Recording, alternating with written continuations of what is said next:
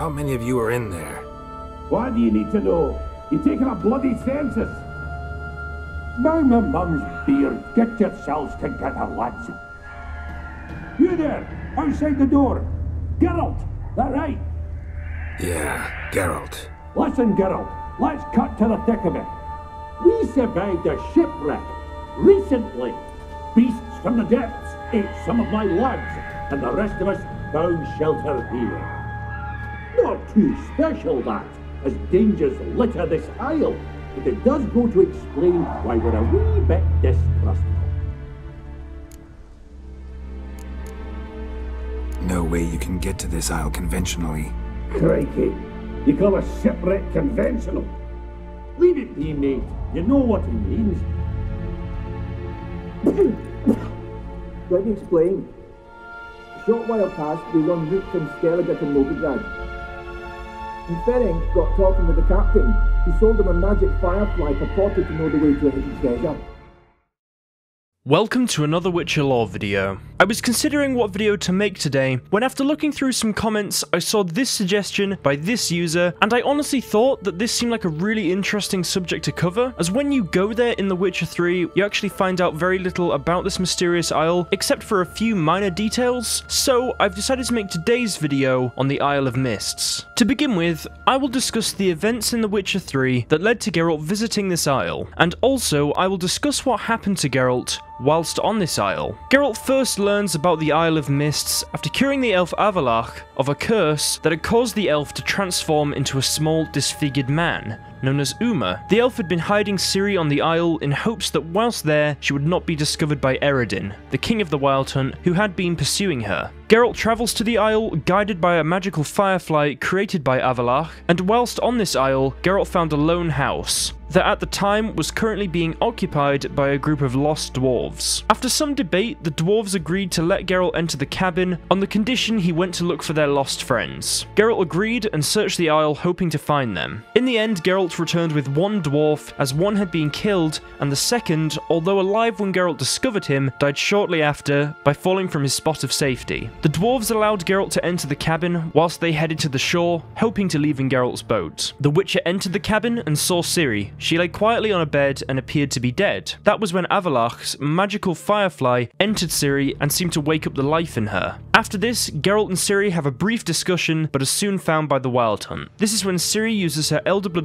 abilities to flee the Isle with Geralt to Kaer Morhen. That's the events that happened in The Witcher 3, and as I'm sure you can tell, we don't find out all that much about the Isle, other than it's magical and for some reason the Wild Hunt would have difficulty tracking Ciri there. So I will explain everything I know about this isle. To begin with, this isle is in Skellige and only appears to be accessible via two methods. The first is for fate to deem you worthy, or by the use of magic such as Ciri's Elder Blood abilities or Avallac'h's Firefly. This reveals that the island may not only be hidden through the use of magic, but in fact may possess some magical properties itself. The island itself is surrounded by a mist that no matter what time of day it is, it never seems to clear. It is also surrounded by large rocks and smaller islands, and after searching through these smaller islands, there doesn't appear to be anything worth mentioning on them. The island has a variety of ships around it, all of which, other than Geralt's boat, appear to have crashed. This supports the theory that most who enter this isle are not aware of its existence and find it completely by accident. There are also various chests throughout the isle, some of which are around the remains of the beach shipwrecks, and some of which are strangely in tree stumps. The island only possesses two unnatural buildings, the first being a cabin and the second being a lighthouse. The cabin is simple enough, it has a simple fireplace, a bed, some shelves, and a table, with a set of chairs. But despite being simple in appearance, it does appear to be built into a rocky hill, and strangely has a back window despite that side of the house being within the rock face. The lighthouse is located in the northwest of the island, but yet again, there appears to be nothing out of the ordinary about it. It is a simple lighthouse with a few wooden chests and boxes located inside of it. As I've said, both the cabin and the lighthouse are simple in appearance, but what is truly interesting about them is the fact that if this island is magic, and not many know of it, who built the lighthouse and cabin, and why? The cabin makes sense, Avallac'h could have potentially built it using magic, as a place where he could stay and get away from the world. We know from the books and the games that he takes great pleasure in having his own solitary space, and the fact that it possesses the unusual features I mentioned before proves that it may have been built through magical means, but the question remains, why is there a lighthouse? Even if you ignore the fact that the island is covered in a thick mist, so the thick light from the lighthouse isn't visible, there is also the fact that the island is hidden and not many will know how to get there. It seems completely pointless. My personal theory is that based on the architecture, it was most likely designed by humans, dwarves, or elves from the world where most of these games take place, which is the world of the Enshe. And when I say populated, I don't mean massively populated, I mean by perhaps one person or maybe a family. Sadly, we have no confirmation on any theory like this, but for now that's just a bit of speculation. There is also a small cave system that runs underneath parts of the island. It can lead to both the island's rocky beach and to a small cave where both a chest and a dwarf are located. I believe this dwarf may have been part of the original company of dwarfs Geralt finds when he first arrives on the island. I also believe that after crashing, this dwarf pulled himself and the chest into the cave for safety and then died. But yet again, no confirmation, that's just a bit of speculation, and I think it seems pretty plausible considering the dwarf hasn't decomposed. Perhaps his friends simply knew that he was already dead. Now for this island's inhabitants. The island houses a variety of monsters including harpies, biohags, sirens, foglets, wraiths, and finally, a lone fiend. As you can see, other than the fiend and the harpies, most of these monsters seem to have some relation to water. One very interesting piece of information that may interest all of you is that the quest, the Isle of Mists, which is where this isle is shown to us, is actually inspired by the fairy tale of Snow White. For one, there are seven dwarves involved,